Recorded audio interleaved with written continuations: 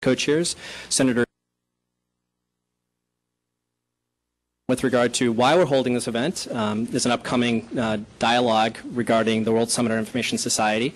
There's a preparatory meeting next week, I believe, um, regarding the upcoming uh, summit. A report came out this summer which details some of these internet governance issues.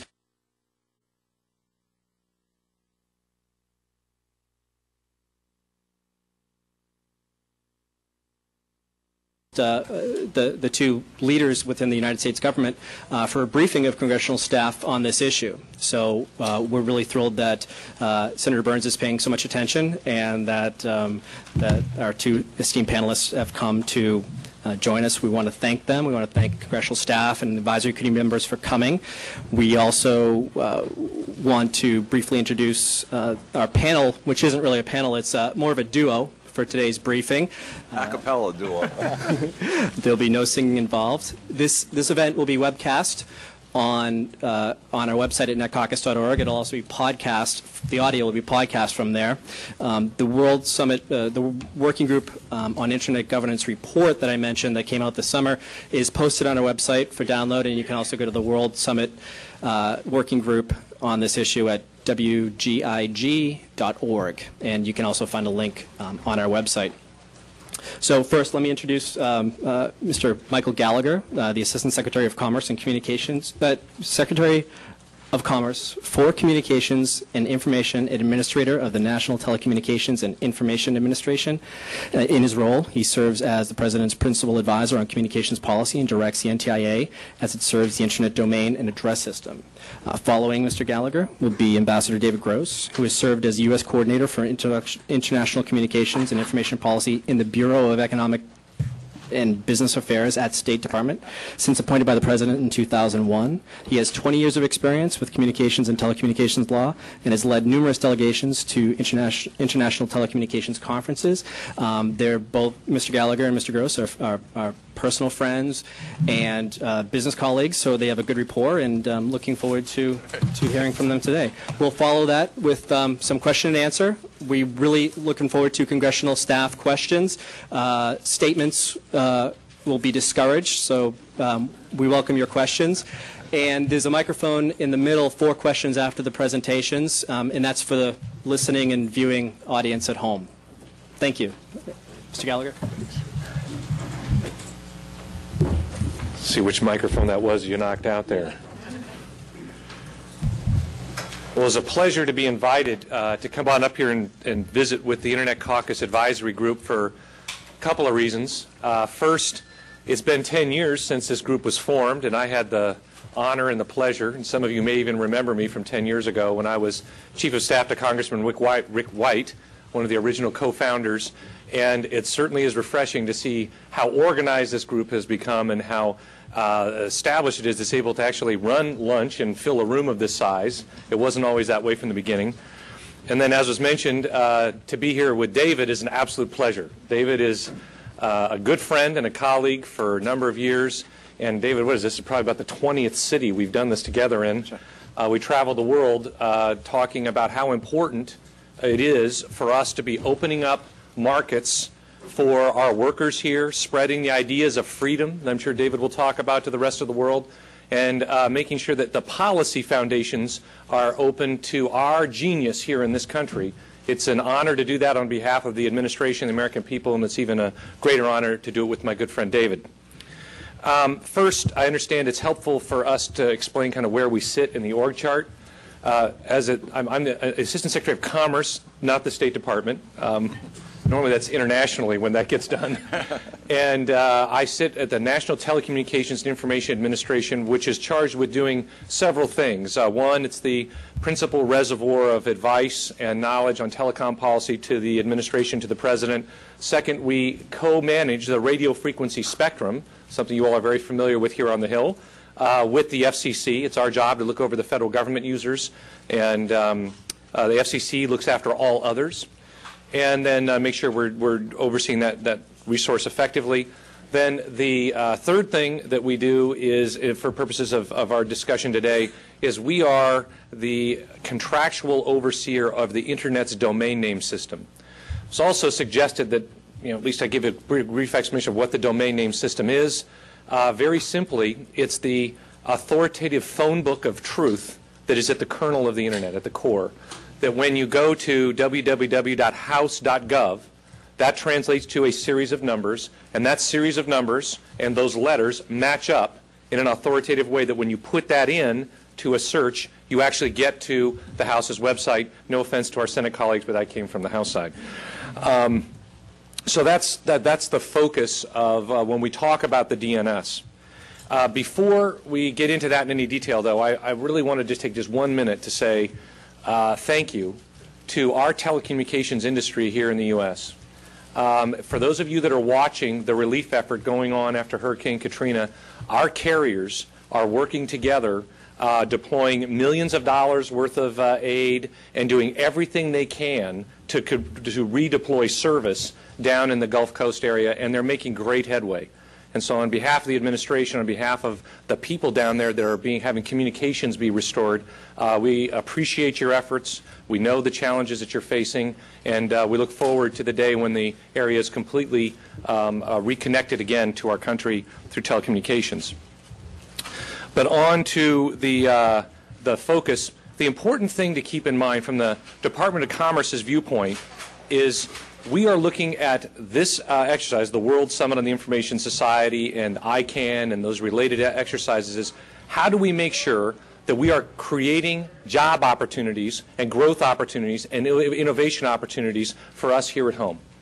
That's the fundamental focus of the Department of Commerce. And the President has given us uh, how we're going to accomplish that. The President says, what is the role of government? The role of government is not to create wealth. The role of government is to create the environment in which entrepreneurs can flourish, minds can expand, and technologies can reach new frontiers. That's the focus that leads us. So how do we create that environment? So we go from country to country, we look at these larger overarching discussions. How do we do that? So that's the fundamental goal. Now, looking at the policy structures that we have, uh, for those of you that have worked with uh, commerce with NTI over the last four years, you know we've taken on a number of policy initiatives, re-examined the foundations of why, we do, why we do things, how we do things. Are these 21st century policies or 19th century policies? And we've gone about systematically uh, making sure that we're ready to engage the 21st century world. First, it was with uh, spectrum policy, and you have the president's uh, spectrum policy for the 21st century.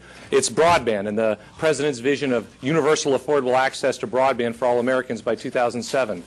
And the next policy that came up was, all right, how do we manage the DNS? What should we be doing to make sure that we are discharging our responsibilities relative to the domain name system in a making sure that, that there's stability and security in the core of this resource of the internet. It's not the entire internet. It is the DNS. It is a critical piece of it, but it's not the whole thing. But the one piece that we have, we must be doing everything we can be deploying our voice resources effectively. What we have learned over the last uh, 10 years of experience is one, the internet really has changed everything. And the numbers are pretty staggering when you look at where we were. Um, these are from a variety of sources. In 1995, there were 16 million internet users in the world. Today there are 888 million. Um, the DNS queries, how many times was the DNS queried per day, was stood at 20 million in 1995. Today it's 14 billion. Emails sent, 8.4 billion in 1995, 1.5 trillion today. Now hopefully not all of that is spam, but that's a significant order of magnitude. And then we see the same thing with e-commerce. So we see the, the medium is in fact exceeding the expectations that people had for it even during the bubble. Now, also, when we look at the United States' role, we are the world's number one internet economy. We are the world's number one broadband economy.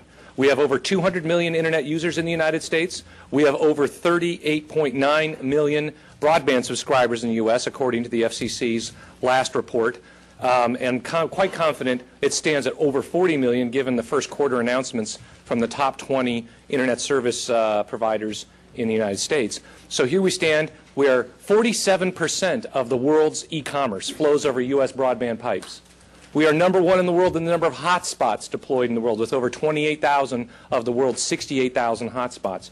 There are a variety of metrics that prove and that measure where we are. We care very much about how the DNS is administered and making sure that it is stable and secure for the long haul for the 21st century digital economy that we all are benefiting from and living in.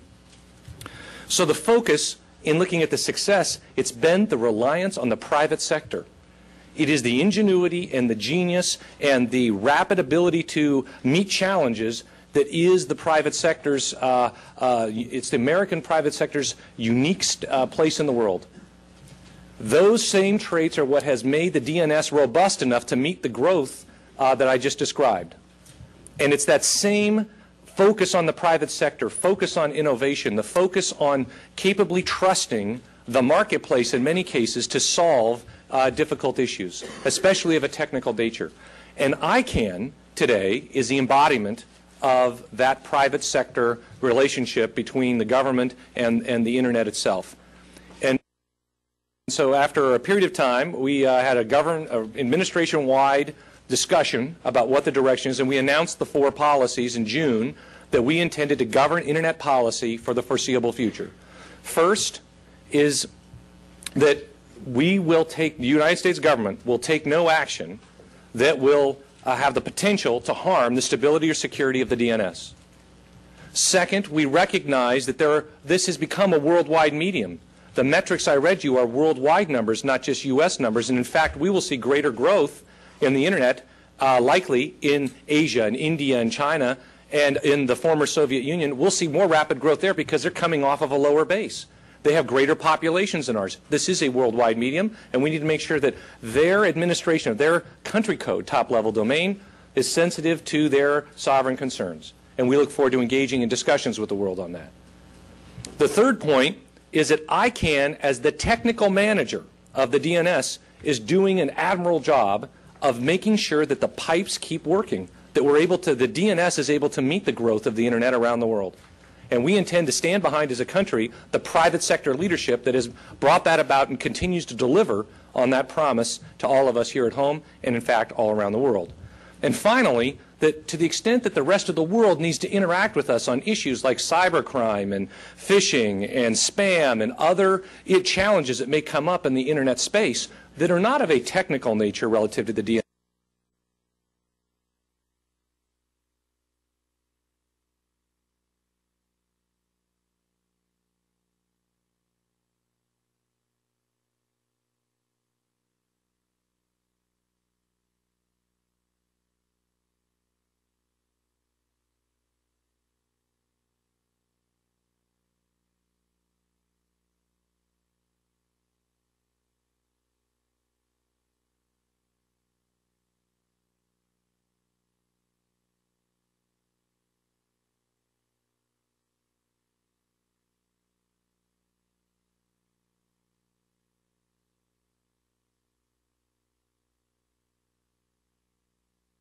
Can tell you, when you sit down with market-oriented democracies and speak with them about the Internet, they have become much closer to our way of thinking and recognize the importance of the Internet to the growth of their economy, and strength and stability are very important to them. And we are putting our efforts behind those goals to ensure that that will continue for the foreseeable future. And so when we look at the World Summit, and David can tell you about the other pieces that are engaged there, which we care very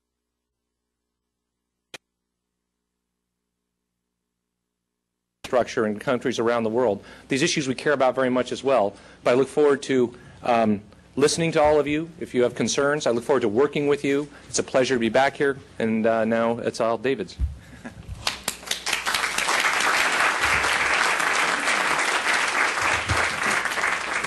Thank you, Mike. Uh, I don't want to make this into one of these really embarrassing how much everybody up here loves each other sort of thing. Uh, but let me, if you'll indulge me, uh, as Mike indicated, he and I uh, go back a long ways. And uh, we were in business together. I knew him when he was up here on the Hill. I won't say how long ago that was, but you've given some hints about that. Uh, but uh, let me just sort of say one thing uh, that maybe is an illustration about the extraordinary job. I'm going to do something which I'm really not supposed to do, which is, since I'm an ambassador with the U.S. State Department, I'm supposed to keep to my international knitting, not talk about domestic issues. Uh, but last week I had the uh, in interesting uh, week. I was in Israel and the West Bank meeting with uh, the Minister of Communications for the Palestinian administration and a bunch of others. And uh, they've got, as you all know, no lack of very, very difficult issues. And one of the really significant difficult issues that they're struggling with uh, has to do with spectrum-related issues and how the Israelis and the Palestinian Authority uh, will be dealing with each other. And uh, of course, as you all uh, can imagine, there is lots of angst, lots of difficulties, few clear solutions. And one of the relatively clear solutions that I offered up, and I haven't even told Mike this, is they need somebody like Mike Gallagher, who has really done some extraordinary things that you all, uh, I think it's, it's, well worth paying attention to. Uh, one of the problems we have here in the United States and around the world has to do with spectrum, and largely because the good Lord is not making any more of it, how we effectively use what we have, uh, and the, con the contest among different types of of agencies and focus, all of whom have very good stories to tell.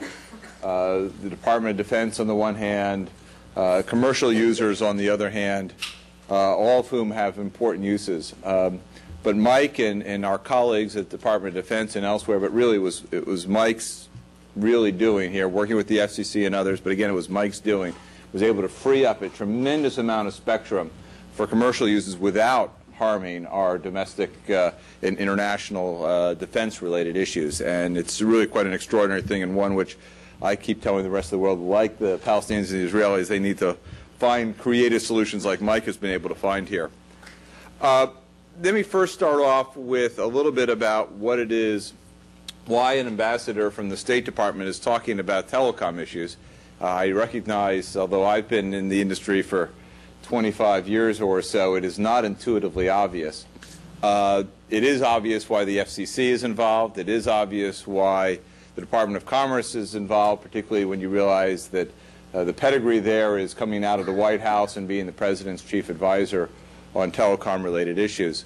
But many years ago, up here on the Hill, it was recognized that international telecommunications was becoming an extraordinarily important thing for the United States. And so the decision was made to um, have some particular focus on those issues, and they looked around the usual suspects to try to figure out where that should be housed. And as you probably know, the Federal Communications Commission, although it has a very large international bureau and quite good international bureau, is an independent regulatory agency and therefore uh, cannot speak for the U.S. administration as a matter of law on these issues. So they decided that it would be important to have this position be in the State Department uh, both so that our international telecommunications policy can be in harmony with our foreign policy generally, uh, but also to give us some of the advantages of having uh, someone who can play in both the diplomatic world and in the technical world. And I will say, uh, as I look around the world, it is a unique uh, situation and one that gives us great advantages. In fact, I'm impressed by how many ministers and others now come to me to ask exactly how we came to do things the way we do it because they see the advantages that this brings to the United States that others don't have. Uh, and probably nowhere as more clearly are those comparative advantages than in the World Summit on the Information Society uh, that Mike uh, referred to. Uh, let me give you just a little bit of background about this. Uh, as you know, the United Nations holds a major World Summit approximately once a year. Sometimes it's on sustainable development or on financing or a whole host of issues. But back when the International Telecommunications Union had its plenipotentiary, which is every four years, conference uh, back in Minneapolis in 1998, the idea came forward that perhaps the issue of the use of technology to help in development, particularly in the developing world countries, use technologies, particularly information technologies, to help their people would be worthy of having discussed at the heads of state level. And in fact, just perhaps indicating what we're, the time period we're talking about in the late 1990s when all things seemed possible and all things could be solved through the use of technology, uh, it was such a popular idea that they decided not only to have one summit, but rather to do something unprecedented, and that is to have two phases to the summit. And we had the first phase of the summit uh, in 2003 in Geneva, Switzerland. I'm told it was the largest UN summit outside of New York ever held. More heads of state, more delegates. Uh, And I will tell you that uh, I, since I had the great honor of leading the U.S. delegation, uh, I was really, really concerned about this uh, because I thought, what is there really in it for the United States, which is my job? I understand why a lot of other people are interested in this, but is this really just going to be another opportunity for people to sort of beat up on the United States or another opportunity to try to regulate things that ought not to be regulated and so forth?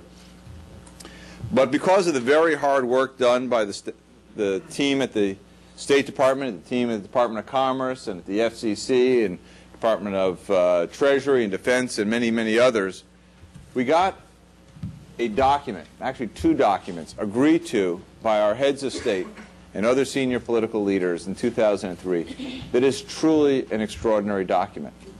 It is a document that was agreed to by consensus and one that talks about the importance of free enterprise. It talks about the importance of allowing telecommunications to be uh, less regulated. It talks about the importance of freedom of expression. For the very first time the United Nations in that document, the countries agreed to the importance of freedom of expression with regard to the internet and other new technologies. You just go through it time and time again, and it is an extraordinarily powerful document. And one that I use on a regular basis as I travel around and meet with from China or Russia or anywhere else, and I use that document and I remind them of what it is that their leaders have agreed to. It's an extraordinarily effective tool. But we come to this year, and we have another phase of this summit. It will be the last phase of the summit. Um, and it, we are faced with a whole host of new challenges. One of the big issues that we had back in 2003 as we were negotiating those documents was the issue of Internet and Internet governance. Now, let me just say, sort of parenthetically, this is actually very good news for the United States. And I don't think that's really fully appreciated because when people hear that other countries, China, India, Brazil, others, are interested in talking to us about the Internet, caution flags, and understandable caution flags immediately go up. They certainly go up for me and for, and for our team. But why it's such terrific news is because it means that the discussion going on globally is about the things that we want the discussion to be about globally. It is about the opportunities that come, the economic, the social, the political opportunities that come from a tremendous new engine of growth, the Internet. And the fact that the conversation is no longer as it once was in the early and mid 90s of trying to convince countries to use the Internet, to allow their people to have access to the Internet. Now it's exactly the opposite. Now all the discussions are what can we do to bring more access to our people? How can we use it more effectively for government services? How can we bring health care to our people using the Internet and other technologies and the like? That's what we want that discussion to be about. Now, I don't want to be sound too optimistic and too rose-colored glasses. There are real challenges. And what we saw in 2003 was an attempt to try to rein in some of the advantages that we see from the Internet. And we were able to deal with that issue back then by pointing out that when people use the term Internet governance, no two people, even on our delegation, had the same idea of what we were talking about. It's such a plastic concept. It's not one that means the same to any two people. And so what the agreed upon position at the end by the world uh, in the first phase of the summit in Geneva was that a group of experts would be convened by the Secretary General of the United Nations to define the term Internet governance, to identify the public policy issues associated with it, and to make certain other recommendations. And that those that would be brought into the preparatory process for this summit They'll be held in Tunis, Tunisia, in November of this year, in just a few weeks away. That report was issued uh, in uh, mid-July, uh, and I believe there are copies of that report out in the front if you really have trouble sleeping or afraid you need to write some paper and you need to make sure you have the quotes exactly right. In fact, let me just parenthetically say for all you who will go back to your offices and go, God, I don't really remember what this was about or where to find this. Uh, let me give you a brief uh, advertisement for our website where virtually everything you need to know about this stuff is either there or hyperlinked from there. And it's not the easiest. It's the State Department. We're not technologically so sophisticated. It's not the easiest website address you've ever seen, but it's www.state.gov. That was the easy part. Slash E slash EB. I told you it wasn't easy. E slash EB slash CIP, Communications and Information Policy. And if you need to, just see me after this, and I'll repeat that uh, uh, to you. But anyhow, you'll find on there lots of information, lots, as I said, lots of hyperlinks to all this sort of information. Uh, we are in the middle of uh, the negotiations now about internet governance and a whole host of other issues to prepare the documents for the summit in November. I mentioned before that the summit in Geneva in 2003 was the largest, I'm told, ever held by the UN. I am assured by the Tunisians, and I am sure they're right, that this will be even larger. More heads of state, more senior officials, more delegates, um, and it will be the first time the UN is holding a heads of state summit in the broader Middle East. And so it has tremendous importance for that. If you doubt that, uh, you might be interested to know that the Tunisians, as they were required to, but they, they did so, invited Ariel Sharon to attend not that long ago. And there were riots in the streets of both Tunisia, which is not known for their riots, because they have a very strong, shall I say, uh, central government, but also in neighboring countries as well. Uh, so passions uh, flare up. Uh, I can't claim that the uh, riots were about internet or the internet governance issues, uh, but it does give you an idea of the sensitivity about these things generally. Uh, as I said, we have a number of jobs to do as we negotiate the text of these documents. First and foremost is not to lose that which we already have.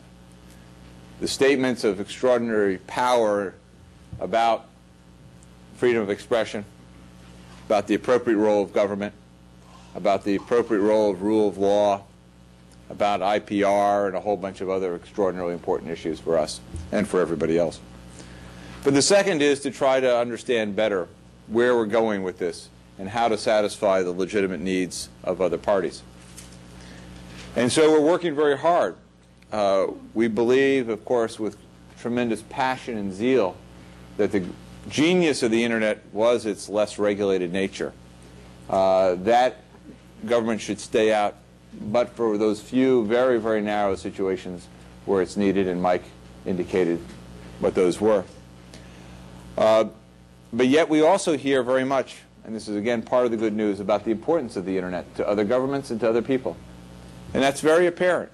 There isn't a government that I meet with that isn't basing their governmental services in large part because we suggest they do so, on the internet. And so the stability and reliability of that tool is of legitimate importance to them. And so how we can engage in a dialogue that gives them comfort about our intentions and the role of the U.S. government, while at the same time not endangering one iota of the sorts of things that we care about and are important, not just for the United States, but because we think they're important for everyone, is the challenge that we have now over the next couple of weeks. Uh, it will be a very challenging time.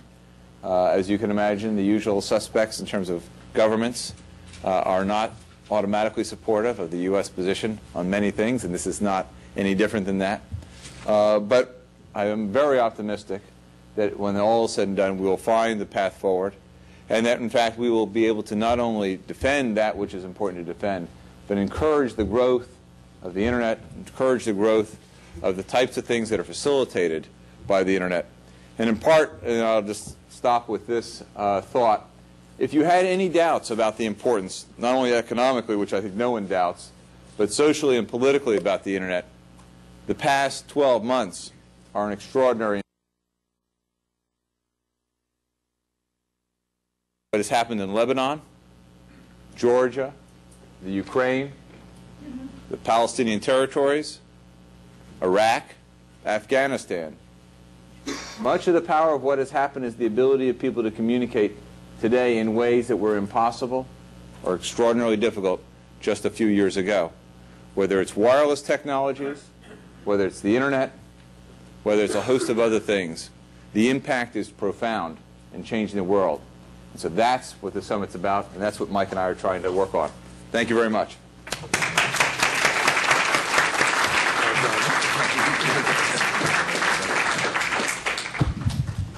We can just open up to questions. If anybody can take the mic for our listening viewers at home. It's also helpful if they could just name and where you're from. That's right. Uh, My name's Randy Barrett. I'm with National Journal Tech Daily. Uh, The ITU has been very involved in this. They have a report out. There's a lot of people around the world that want, uh, I guess some of them want uh, internet governance to perhaps move toward uh, the the United Nations. And yet I keep hearing from the two of you, and it's been now a number of months, that that just ain't going to happen. And now I want to, can you, can you tell me exactly your position? I mean, just 10 words or less, Mr. Gross. Is it going to happen? Are you going to let it happen? I'm a lawyer. Ten words or less. Gee, that's just not fair. Oh, that was it. The, the, that's right. That's right. That's right. Next question. Yeah. The internet will not be in charge of the. I'm sorry. The United Nations will not be in charge of the internet. Okay. Period. Okay, I like that. Now, Mr. Gallagher? All right. Uh, We're on the same team. Okay. The the answer's same, no. Same thing. The answer's no. Okay, Okay. all right, great, thanks. All right. My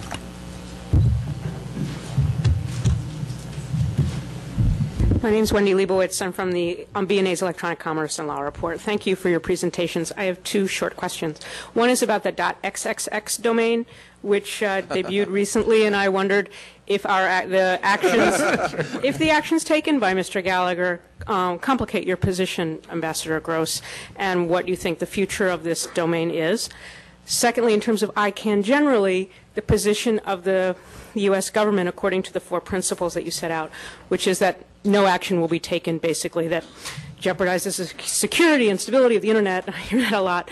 Um, but there are real complaints about ICANN that I hear about how difficult it is for people to get a quick, clear decision about the, the lack of transparency, and the, they want more local control. I hear this from people in Britain, from Nominet. I mean, these aren't concerns from, from tangential people. They're saying we want local control. Why should we have to go to a California-based institution to make administrative changes in our own sovereign country code domains?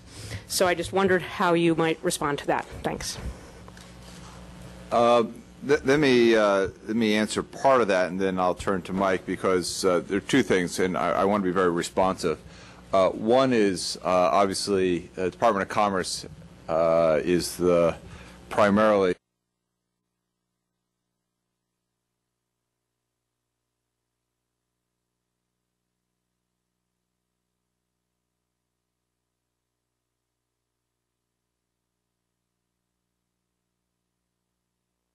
uh, slightly differently, but hopefully this will be helpful to you, Wendy, and if it isn't, please just let me know. Uh, the problem, let me first mention to people, just uh, if, unless you know, the, the dot triple is the question of whether or not there should be uh, a domain name, basically, uh, that would be uh, uh, for, uh, well, the sorts of things you'd expect the dot triple to be for. And but for me, the, actually, the, the more fundamental issue that, as I see it, or at least as it's often presented to me, is I am as probably as much a zealot on the First Amendment as almost anybody I know. I can't say everybody I know, but almost everybody I know. Uh, and, and I think that's really one of the great reasons why the United States has prospered in, in virtually every way. Having said that, uh, you don't have to be on my job very long to know uh, that it's uh, our belief in the First Amendment and the power of the First Amendment is a very singular one. There is no other country in the world that believes the way we do about unfettered access to information and the like. And by that, I'm not just talking about the usual suspects who clearly don't believe in it, but rather even many close allies believe that the line should be drawn in ways that we don't find comfortable. And so, putting to one side the issue of pornography and things like that, you know, there are certain things that are obviously on one side that everyone would agree is inappropriate. Uh, and uh, the real issue for us internationally is we believe passionately about the importance of the free flow of information. And for that, as you know, and as everybody here knows, we put virtually no restrictions on that. Um, But it would be naive for us to think that just because we say that should be the way of the world, makes it the way of the world. Whether it's cultural issues, economic issues, social issues, a whole host of things. The rest of the world doesn't see it exactly the same way we do. And so how we fit ourselves into that world and that world into what our worldview is, is where it's tricky. Now, dot triple X is, is one example of that, but I wouldn't want people to think that it's, it's somehow unique. There's a much more significant core issue, which is partly why the part that on the World Summit that we talked about earlier on about the freedom of expression was so important to us. Mike? Yeah, just, uh, Wendy, just to fill in a a couple things. First of all, the question has not been posed to the Department of Commerce. Uh, It's resting with the Board of Directors of ICANN as a procedural matter, and that's uh, their province uh, to handle their process as they see fit. Uh, As you all that are in the media know, I sent a letter uh, probably about a month ago suggesting that they make sure that their process is inclusive of all of the views that were being shared with us in the department and including those views that we were hearing from our international counterparts about concerns of a variety of natures uh, relative to how this was going forward. And they heeded that by allowing um, an additional month or so, and it's being handled within their board process. So the question itself has not been posed uh, to, to, the, to the Department of Commerce.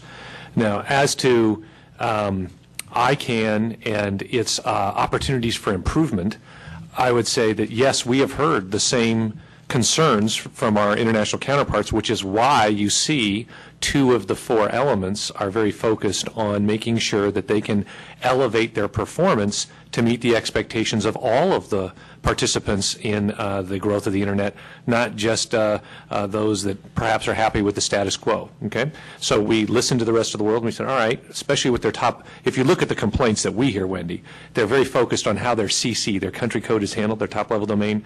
That if there are some improvements we can make there, we should. All right, and also if we want, if we need to talk about other issues that are more real governance related, right, like content, or like uh, spam, or cybersecurity, or cybercrime, those things are.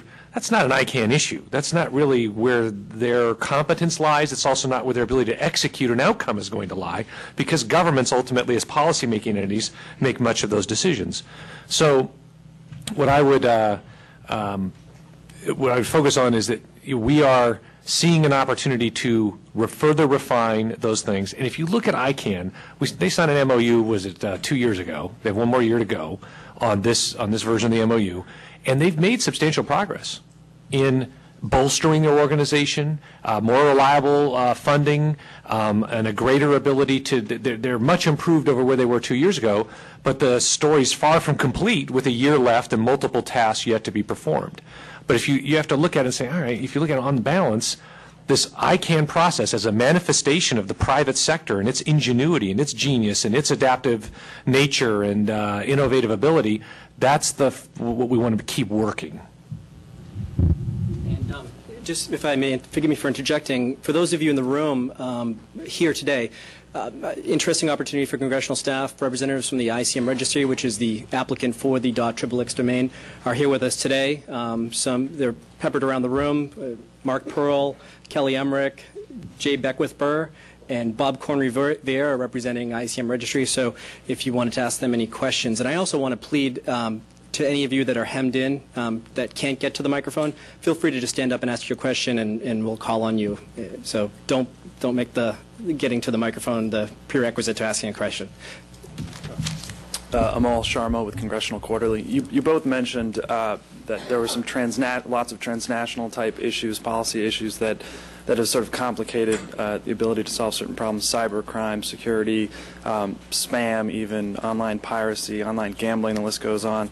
I'm just wondering, from a 30,000 foot level, what's what's the United States sort of approach to dealing with those kinds of problems, if not you know, some sort of new uh, intergovernmental body? What, what's the way to deal with that? Should there be treaties of some sort or, or whatnot? I, I just wanted to add, we've seen that in, cover, in terms of covering Congress and the legislation that they pass. There's always limitations that are noted by, you know, staff and members as they're passing a bill that, you know, we're stopping X, but someone could still set up a server in another country and we, you know, can't control that. So you can address that sort of thing. Let me, let me start off. Uh,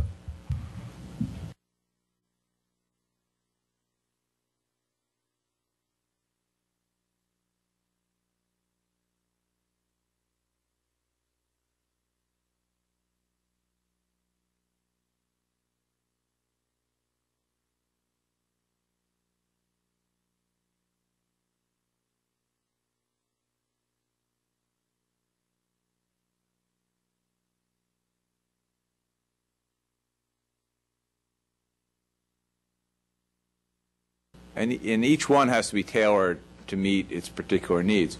The World Summit, for example, gives us some tools automatically.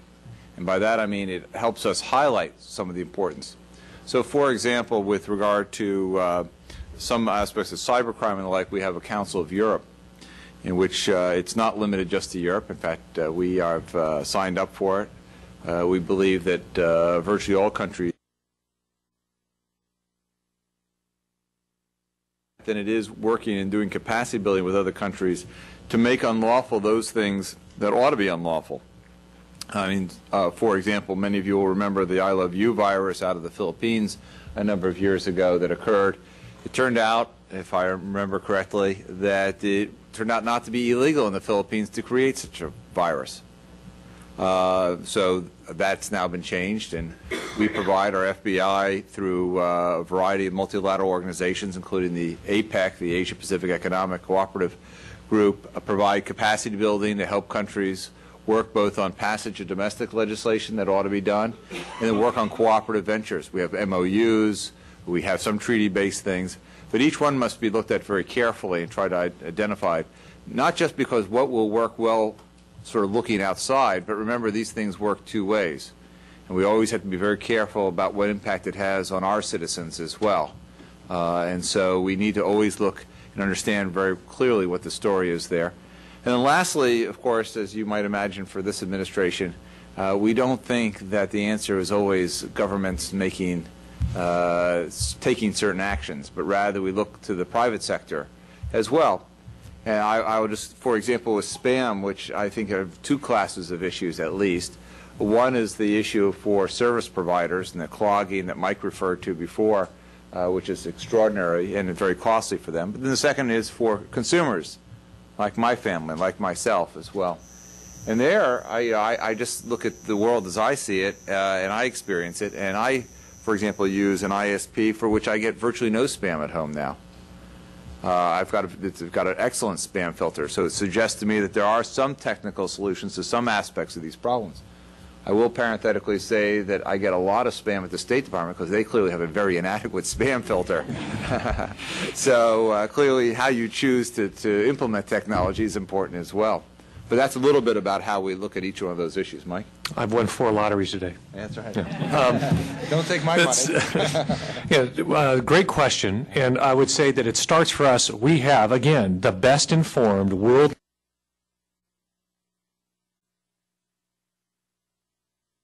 technological issues of the day, whether it's, you know, phishing or spam or whatever it's five years from now, because, you know, certainly phishing was not a term that people were worried about, or pharming three or four years ago, right? We're going to continue to have these challenges. Uh, we look to the private sector, certainly that's how we do it as the Department of Commerce, say, all right, well, where is the real source of the problem? Where is there a policy role, and where is there genuinely a technical role?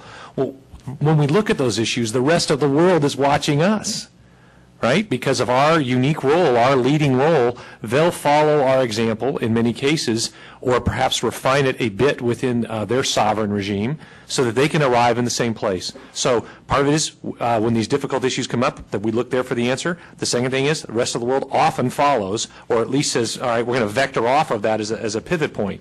We also have more at stake than anyone else. As I mentioned, these metrics about the importance of the internet to our economy uh, we need to make sure we get these things right. So again, as other countries come up that curve and rely more on the internet, they again will see the benefit of uh, our path. And in many cases, it's our private sector that's working within their countries, right? Because two-thirds, over half to two-thirds of the revenues of our largest tech companies here, their revenues come from abroad. And so they're able to be instrumental in making sure that we're creating that environment the President talks about in many different uh, aspects or ways. And finally, there are multiple, as David can tell you, I mean, he hosts these things and he tirelessly travels the world. Uh, You have multiple bilateral arrangements where it's an economic discussion, and part of it all is on one of these more troublesome topics. Or we have, was it the U.S., Australia, and the U.K. have a trilateral agreement on Well, we have, uh, there's a, actually a spam-related. Spam-related agreement, yes, cybercrime. FTC is. does- uh, FTC is part of that. Agreement, right. And so you look at it, there are gr- very positive discussions that can be had, and the knee-jerk reaction must not be create another worldwide bureaucracy.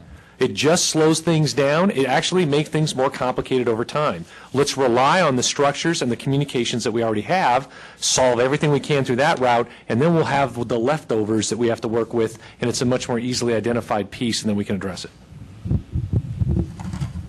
Which is why we need a spyware bill, right? Monica Trinnell from Senator Burns' office. I, um, I just have a question. Do you think any uh, specific U.S. legislation is necessary given the concerns that you've touched? And if so, what would that look like? Domestic, that must be you, Mike. Yeah. Um, Right now, we have uh, a tremendously vibrant uh, uh, environment here at home for the growth of the internet and all of the things that feed off of it. I don't believe that there's a uh, request, especially vis-à-vis the World Summit discussion that's going right now. There's not a need for a specific piece of legislation to take over to the World Summit in order for us uh, to articulate our view. David's doing a fabulous job with his team, and he has Sally Shipman here and Tim Fenton with him today, who are two members of that team. Dick does a fabulous job, Dick Beaird. Um, they, they, they make sure that everyone's aware of exactly the benefits of what we're seeing, because the first thing you want to do is attract people to your position. Also, let them know the limits uh, of how, how far we're willing to go. I, there is benefit in solidarity. When there can be expressions of support from Capitol Hill to the direction that we're taking, that's absolutely helpful and much appreciated. Because then there's a greater signal of strength, and uh, domestically, it helps us send the right signals to our marketplace that this administration, this government, up and down both sides of Pens- both ends of Pennsylvania Avenue, are in support of the direction they're going for growth and job creation. Hi, Miriam Sapiro from Summit Strategies International. I wanted to, um, first of all, it's a real treat to have you both on the same panel, and no mean feat given your travel schedules. Um, I wanted to ask you about this idea of a forum. I actually made it to the end of the WGIG report that Ambassador Gross referenced earlier, and in it there was unanimous support for setting up a new forum for policy discussion and debate. I can think of a lot of other ways to accomplish that goal, but there was unanimity. And it seems that other governments that have weighed in on these issues are starting to support your primacy on security and stability, but also saying very kind words about the idea of a forum. And it's something that's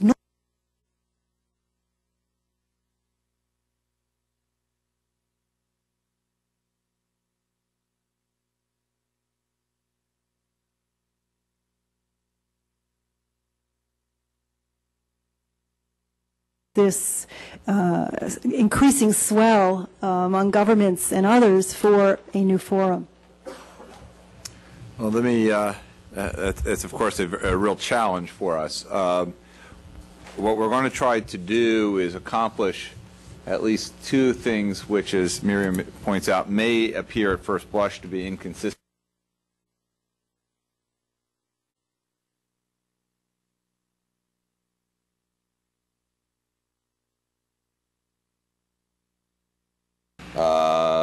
We want other governments, we want other institutions. In fact, one of the things I should mention that's somewhat unique about the summit is it's not just governments, at least in theory, not just governments, but rather civil society, as they call it in Europe, NGOs, others are active participants. And in fact, the, most of the delegates will probably come from, from those sectors. Corporations are actively participating as well.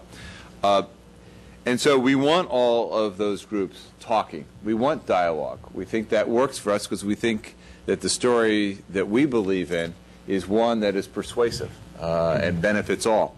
So we welcome a dialogue. We welcome a dialogue on all of these types of issues uh, because not talking about it doesn't make them go away, but rather by addressing them, we think we can resolve many of these things. Uh, and, and we think they get resolved on terms that we're very happy with.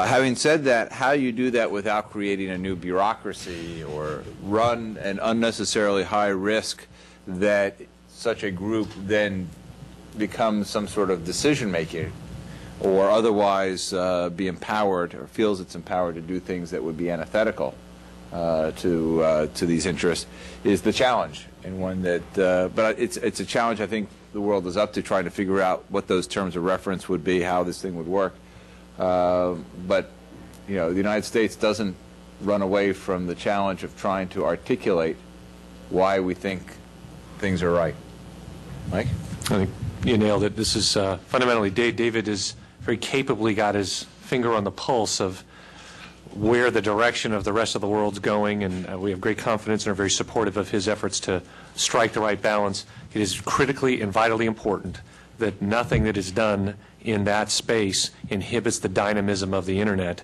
as a medium going forward.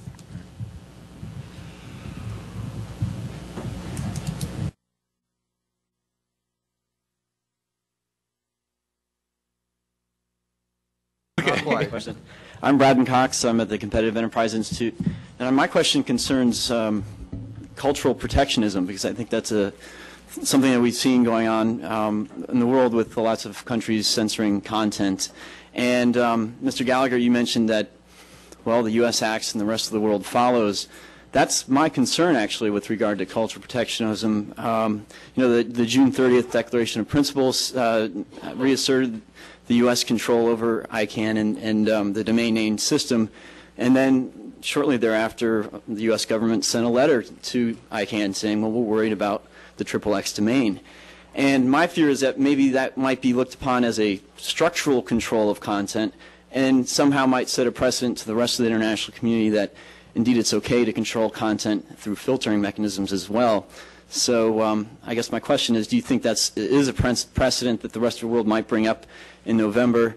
And uh, how do you, uh, I guess, Ambassador Gross, how do you maybe You know, that's a, a on content prote- uh, protection or the, the decisions that countries make about what their people see and don't see.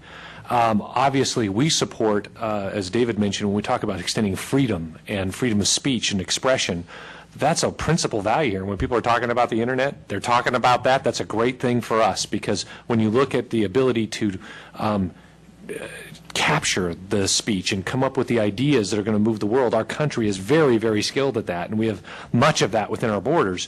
So we want to see that be extended as far as possible. It's a fundamental principle. When you look at uh, what's going on as a real matter in the in the marketplace, China and a number of other countries have very effectively blocked content there are limits on the uh, U.S. authority to impose its views of what's best for other countries on them, and it's not realistic for us to expect those barriers to vanish just because we would like them to.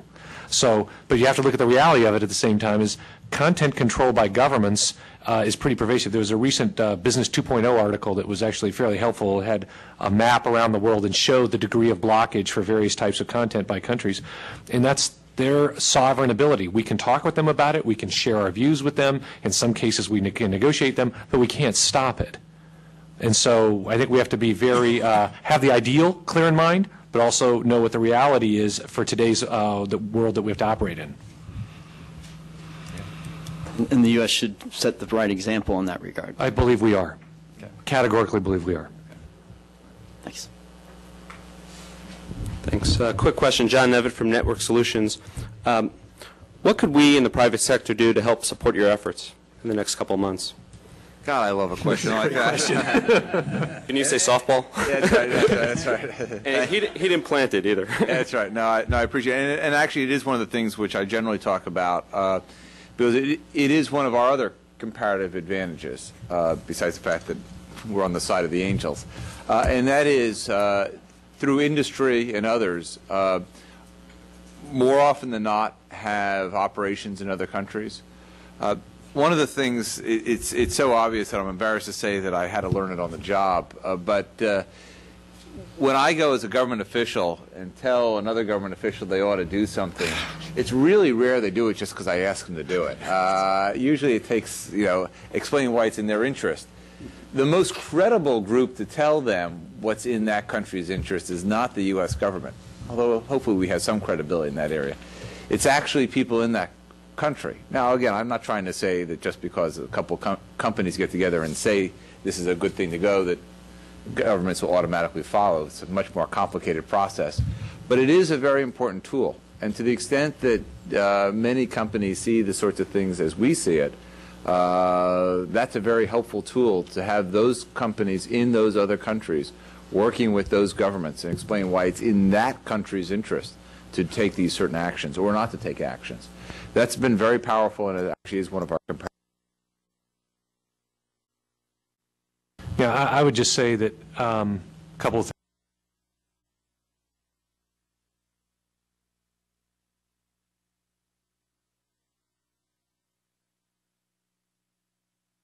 Our job creation engine. we've created over 4 million jobs in the last two years in this country. That's more than Great Britain, France, Japan, um, and two or three other countries.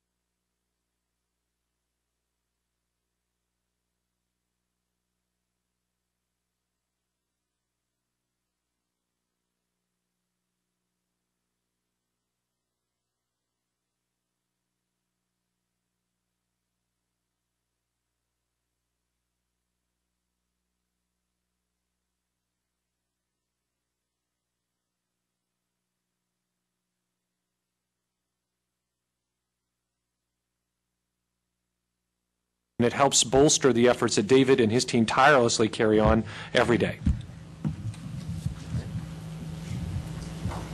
And if there are no more questions, on behalf of all those advisory committee members and the Internet Caucus members, I really want to thank you and the ambassador for coming to brief us today, and also your, your great staff. Thank you so much.